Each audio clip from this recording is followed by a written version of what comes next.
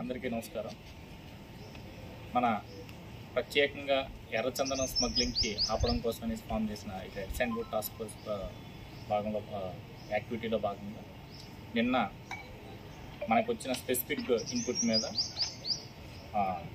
మన operation DSP గారు అయిన చించుబాబు గారి ఆధ్వర్యంలో RI Chiranjeevi RSI Muralidhar Reddy and Naresh వాళ్ళ టీము రాత్రి తొమ్మిది గంటల ఆ ప్రాంతంలో కడప జిల్లా కాసినాయన మండలం Kadapa forest region Korumamilla range Mallepalli section ఇటుక ఇటుకపల్లి ఫారెస్ట్ బీట్ పరిధిలో గల ఎర్రబావి చెరువు రాస్తా వద్ద అక్రమంగా ఎర్రచందనం దొంగలను దొంగలు తరలిస్తూ ఉన్న ముద్దాయిల్ని అటకాయించి దాదాపు నూట ఒక్క ఎర్రచందనం దొంగలు రెండు మోటార్ సైకిళ్ళు ఒక మినీ లారీని పట్టుకోవడం జరిగింది. ఇందులో ముద్దాయిలు పారిపోగా ఒక ముద్దాయి మాత్రం దొరకడం జరిగింది. ఇతని పేరు కొమిరోలు అంకయ్య వయసు ముప్పై తొమ్మిది సంవత్సరాలు.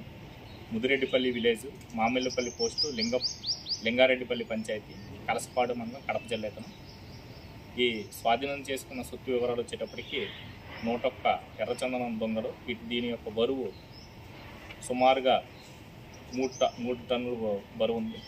Tata goods carrier mini lorry అదేవిధంగా రెండు మోటార్ సైకిల్ ఈ యొక్క సరుకు విలువ సుమారుగా ఓపెన్ మార్కెట్లో చూసుకుంటే వన్ క్రోర్ వరకు ఉంటుంది.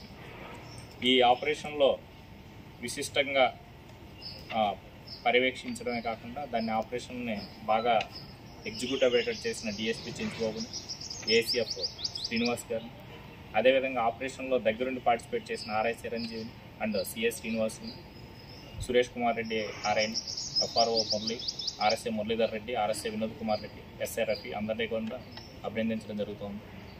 ఇందులో పారిపోయిన ముద్దాయిల యొక్క ముద్దాయిల్ని పట్టుకోవడం కోసం స్పెషల్ టీమ్స్ ఫామ్ చేయడం జరిగింది.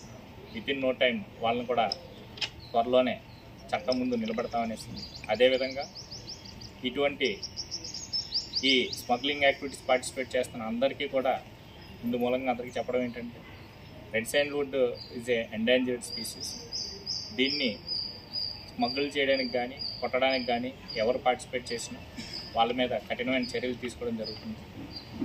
ఈ పత్రికా ముఖంగా అందరికీ చెప్పడం ఏంటంటే రెడ్ శాండ్వుడ్ ట్రీస్ అన్నది ఎండేంజర్డ్ స్పీసీస్ కాబట్టి వీటిని సంరక్షించే బాధ్యతలో ప్రజలు పత్రికలు అంతా కూడా పార్టిసిపేట్ చేయాలనేసి అందరినీ కోరుతాం. Thank you